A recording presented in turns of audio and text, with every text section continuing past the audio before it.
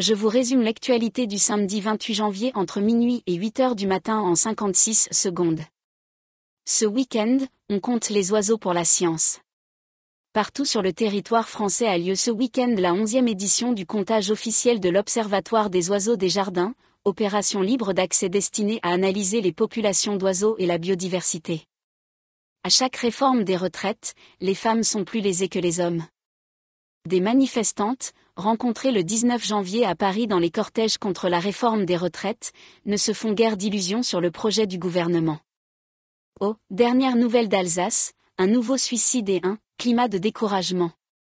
Le suicide, le 17 janvier, d'une assistante d'accueil de l'agence de Haguenau, Barin, provoque l'émoi au sein du quotidien régional, où des salariés estiment que plusieurs alertes sur les risques psychosociaux dans l'entreprise n'ont pas été prises en compte par leur direction. Sanois, le faux chauffeur VTC qui avait séquestré une étudiante condamnée à 20 ans de prison. Pour ne rien manquer de l'actualité quotidienne, abonnez-vous à ma chaîne.